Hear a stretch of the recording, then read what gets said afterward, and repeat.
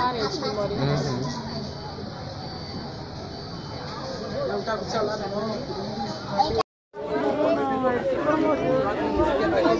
na mão.